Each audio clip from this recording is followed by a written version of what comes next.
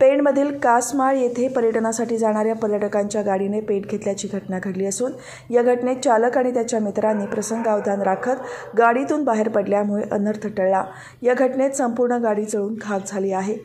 पेणमधील जयकुमार विश्वास हा त्यांचा मित्र कुणाल म्हात्रे अभिषेक बर्वा आणि अनिल बर्वा यांच्यासोबत शनिवारी सायंकाळच्या सुमारास रेनॉल्ड कंपनीची क्विट कारमधून कासमाळ येथे पर्यटकांसाठी जात असताना इराणी येथे गाडी चढणीवर चढत असताना गाडीच्या बोनेटमधून अचानक धूर येऊ लागला आणि क्षणार्धात गाडीने पेट घेतला. यावेळी जयकुमार विश्वास आणि त्यांच्या मित्रांनी प्रसंगावधान राखत गाडीतून बाहेर आले. या दरम्यान पेण नगर परिषदेच्या अग्निशमन विभागाला पाचारण करण्यात आले.